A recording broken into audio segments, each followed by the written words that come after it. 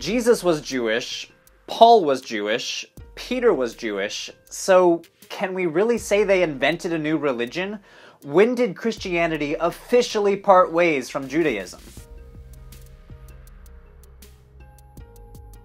Welcome to the second episode of Varieties of Early Christianity. You can check out the last video right here. In that episode, I show that this evolution tree of Christianity just doesn't accurately reflect reality. Christianity was diverse from the very start, and what we know as Christianity today grew out of a supernova of competing theologies and communities. Well, today we're going to push that evolution tree back one step further, back to a time when Christianity and Judaism were not distinct. Today we're covering one of the more controversial topics in early Christianity. When did Christianity and Judaism officially part ways? Now, it might go without saying that Christianity started as a Jewish sect. That is to say, almost every Jesus follower from the first century was Jewish. And with the possible exception of Luke Acts, all of the New Testament books are Jewish texts. So at least in the first century, we can't say that Jesus followers constituted a whole new religion. Guys like Paul were cultural critics and reformers looking to make radical changes to Judaism, namely inviting in non-Jews into the Abrahamic covenant promise. They weren't really looking to start a whole new religion.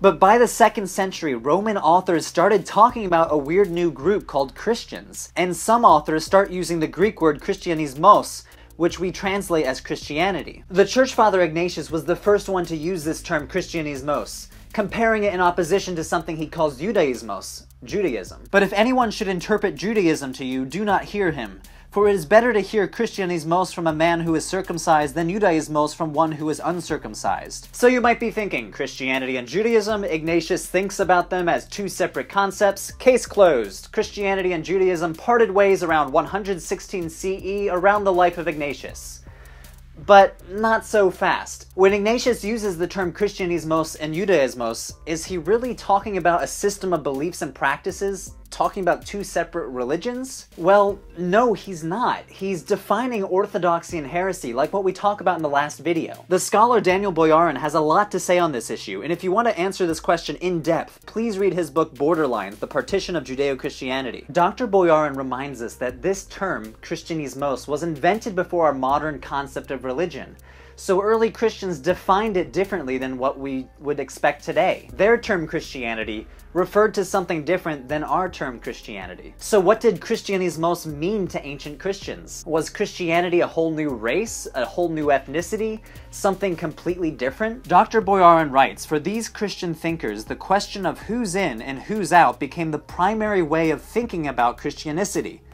The vehicle to answer that question was, again for these Christians, orthodoxy and heresy. So when Ignatius uses this term, he is trying to show that identity within Christianity is not based on language, or history, or geographic location, which so many ancient religions were based on, but whether you believed or practiced the right stuff. But as we talked about in the last video, we need to be very careful to distinguish between what an author is writing about and what was actually happening on the ground in society. This clean break between these two communities was not playing out in society. A lot of our assumptions about Christianity and Judaism parting ways is based on our privileging of belief over practice. From our modern perspective, this makes a lot of sense. A lot of people would define define Christianity as believing in Jesus as the Messiah. But in antiquity, religious identity came just as much from religious practice as it did belief. So for example, let's take a hypothetical ancient man from Antioch.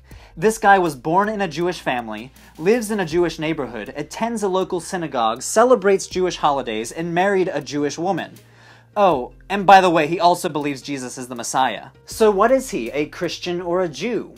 Well, for all intents and purposes, he's Jewish we are importing our own modern bias, our own modern criteria of what constitutes religious identity onto this guy if we assume that his belief in Jesus outweighs his religious practice. The thing is, this guy is not so hypothetical. Our ancient sources talk about Christians attending synagogues, keeping the Sabbath or feast days with Jewish friends, betrothing their kids to Jewish families, and marrying Jews themselves. Religious practice, the way these people actually lived, blurs our easy categories between Judaism and Christianity. It blurs Ignatius's categories too. This is why Daniel Boyarin says belief in Jesus is not a good enough criterion to say that Christianity and Judaism parted ways in the first or early second centuries CE. Because in so many other ways than discipleship to Jesus, early Jesus followers shared a lot in common with ancient Judaism. In fact, some early Christian groups had more in common with Jewish groups than they did fellow Christian groups. So, for example, the Ebionites were a Jesus following sect that saw Jesus as the Messiah, but they rejected that he was a god,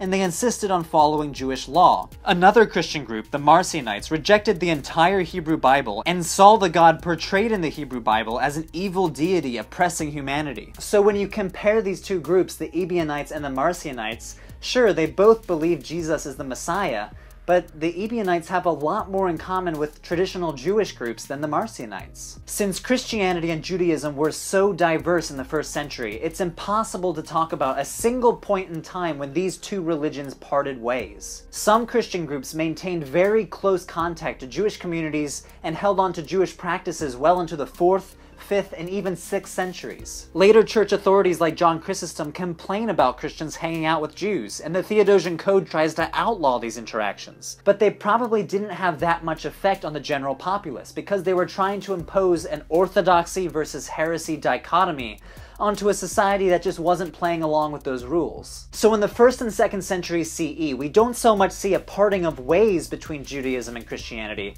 but we see what Daniel Boyarin calls a partitioning within Judaism, when certain Jesus following groups started to distinguish themselves apart from mainstream Judaism. Authors like Ignatius enforced this partitioning, saying that Judaism and Christianity are completely different things. And some Christian groups, like the Marcionites, did go off on their own. But on the ground, Christian and Jewish communities had a lot in common. In some cases, the overlap makes them almost indistinguishable. The idea of a parting was a textual theme articulated and developed by an intellectual minority, beginning in the early second century.